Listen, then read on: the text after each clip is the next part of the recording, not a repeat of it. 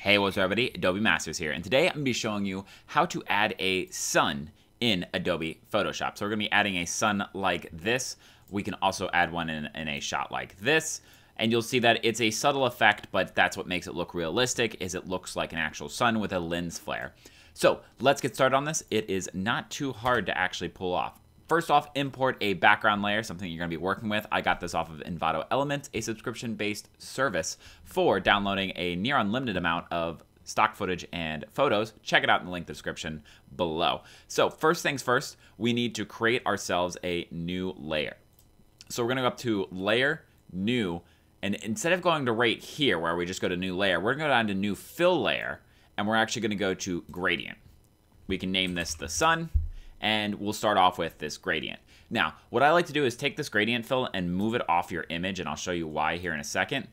Double click on this gradient, and then we are ready to go.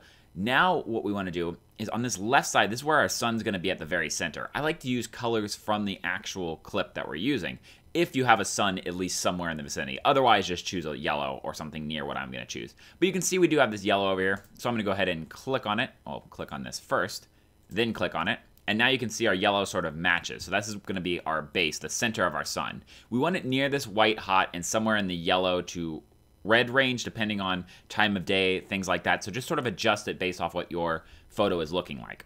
So we want near that white and sort of into the, this little area right here, sort of in this little box. We're going to click OK. Now we're going to add another one next to it.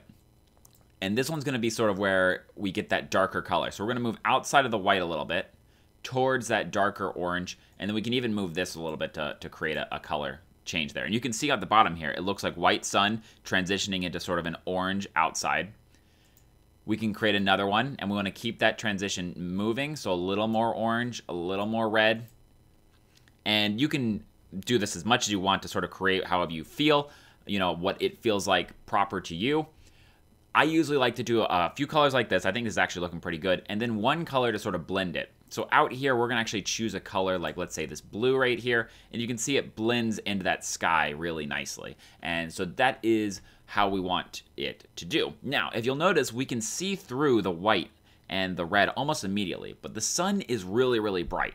And the reason we can see through is that we start at 100 opacity here and go down to zero, which means that here it's already at 90, 75, etc.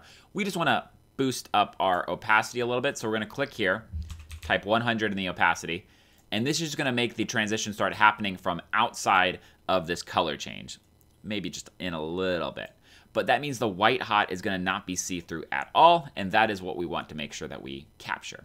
So now that we have our sun ready, we click OK. Um, you can have, obviously this is not a sun. So we're going to go over to our style and go to radial. Radial is going to now make it into a circular uh, sort of gradient, which means it's going to look like a sun now. So we're then going to take this and move it to where we want in this particular case, you want to match the, the angle of the current sun. For example, if there are shadows leaning this way on a very bright sunny day, for uh, we can actually, let me place this for a second so I can show you. In this particular sun, if you notice these shadows on the ground, they go this way. They come to the right here. So if we place the sun on the right side, even though it's blue and it's beautiful here and that might look better for the sun, people are going to see it's fake. They're not going to know why, but they're going to just feel like it's a fake image. And later on, if they're really examining, they said, oh, the, the shadows go the same direction. So we want to make sure that we create something realistic here. So we're going to move it to the right over here in where the sun actually is.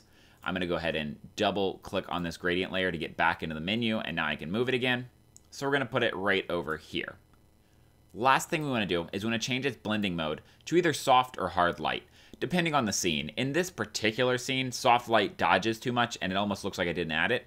Hard light works a little bit better. So now we've added the hard light in, and you can, you know, after you've done this, move it around again to see where it fits. It's actually kind of really beautiful right here, and I think we can get away with the sun being right here. So we're gonna put it right there. You can see this with this the uh, the hard light here. It's actually making that cool reflection through the buildings, like you might actually see. So we're gonna do it right there. Now, we need to then create a new layer.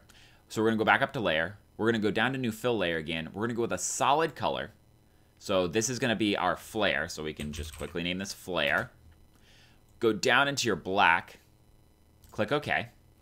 Now we're going to add the lens flare onto this. So we're going to go up to filter, down to render, over to lens flare. convert it to a smart object. It's just going to make it just how it works in this Photoshop. Um, now, you'll notice that there's no background here, so this is a bit of a point and guess thing. I don't know why it's like this, but click OK. Once the flare is created, we're going to go make sure you have the top layer selected. Go to screen. Kind of fun cycling through all these, but we're going to go to screen, and now we need to just do a little adjustment. So go, you want to double click on the lens flare down here, and just sort of move it. We're a little to the left here, so we're going to go a little bit more to the right and down. Almost there, just a tiny more to the right, and we should be where we want to be. Perfect.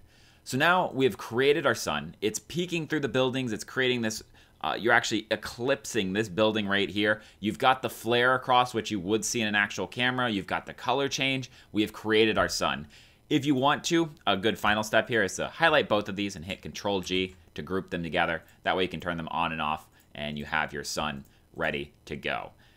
That is how you add a sun in Adobe Photoshop. Thanks everyone for joining me. If you have any questions or comments, go ahead and in the comment section below on our website, adobemasters.net. If you'd like to see more, more videos similar to this one, go ahead and that subscribe button. I make videos on all the Adobe products. Until next time, everyone, see you later.